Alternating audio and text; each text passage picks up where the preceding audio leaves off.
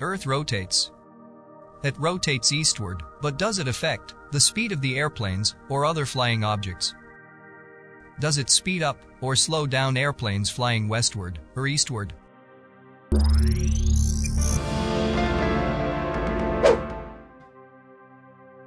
It appears that airplanes, flying westward, in the opposite direction of the Earth's spin, move faster than airplanes, flying eastward, in the direction of the Earth's spin.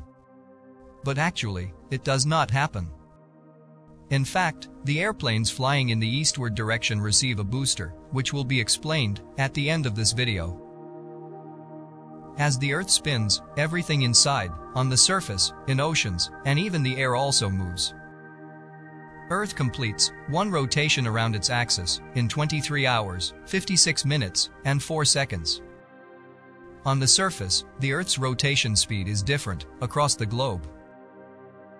At the equator, the rotation speed is much faster, 1600 kilometers per hour, and as you get closer to the poles, the rotation speed gets slowed down.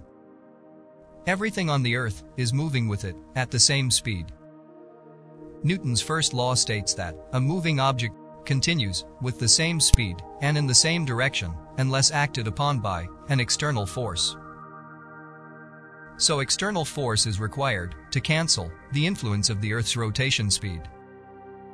You are in motion as the Earth moves at all times. If you jump in the air, you always land on the same spot because it does not change your speed to the Earth. If jumping in the air could change your speed to the earth, you would be thrown hundreds of meters away from your starting point. The same is the case of the airplanes flying in the air. Now imagine an aircraft at the runway on the equator. Remember the Earth's rotation speed on the equator is 1600 kilometers per hour. It means that an airplane standing on the runway is moving with the Earth at the speed of 1600 kilometers per hour. So when it takes off and flies in the air, it retains the same speed. As per Newton's first law, an external force is required to change the speed and direction. The force of engines move the airplanes, and the Earth's rotation speed has no influence on the airplane's speed.